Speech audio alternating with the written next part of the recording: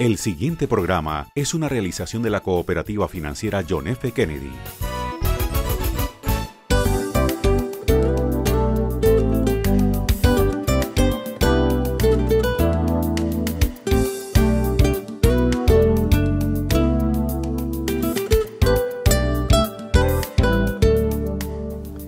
Bienvenidos a nuestro programa, gracias por su compañía.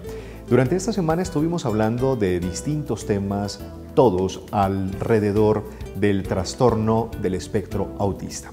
A propósito de su Día Internacional que se conmemora el próximo domingo 2 de abril, vamos a cerrar la semana con una historia de vida que nos demuestra cómo cualquiera de nosotros puede ser mucho más que sus obstáculos. Superar los obstáculos de una condición especial como el autismo no es fácil, pero esta experiencia demuestra que se puede lograr.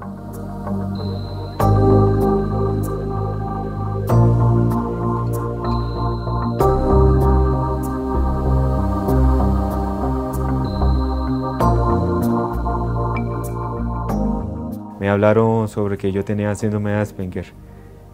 La verdad no reaccioné así como uno cree que es así todo loco, no yo de una vez me puse a investigar qué era el síndrome y me di cuenta de una vez que yo tenía esas ciertas actitudes, de que no hablaba mucho, eh, que a veces alguna actividad física me costaba mucho trabajo hacerlas y que era muy, muy imaginativo.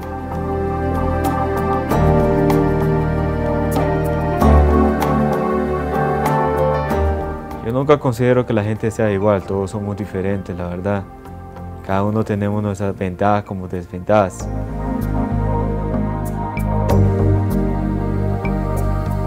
Bueno, yo soy muy callado, la verdad.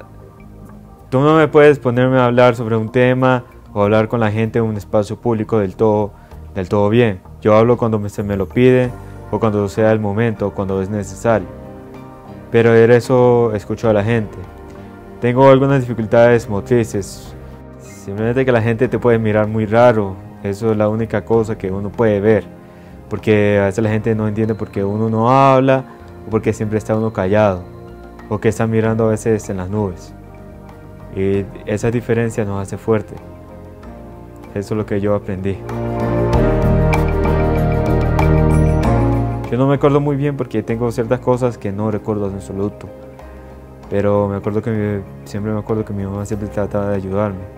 Más que todo ella me ayudó mucho en la parte de comunicarme socialmente, que ella a veces se pintaba la nariz para que yo la viera de niño, para que me prestara atención. Mi papá también ha sido un apoyo impresionante porque él también ha sido una persona que me ha puesto los valores, lo que es el, el honor, el respeto y siempre tener, ser muy íntegro y honesto con los demás.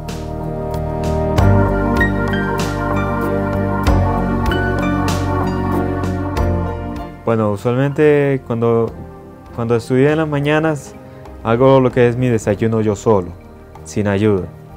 O sea, yo aprendí a ser muy independiente, ya irme solo en las calles y al aprender rutas para ya irme yo solo al transporte y eso. Porque uno no puede estar siempre con los padres.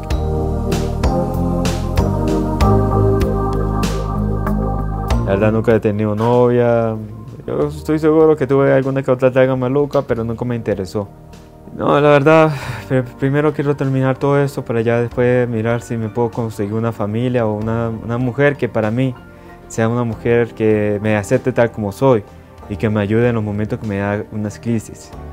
Porque yo admito que siendo Asperger, necesito a alguien que sea al lado mío, que me entienda.